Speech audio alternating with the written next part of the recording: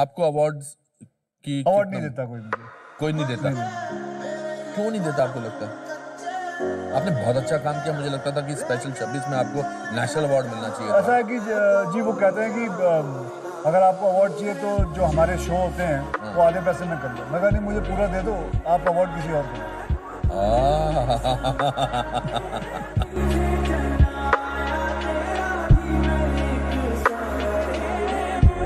Disappointment होती है, जब नहीं मिलता।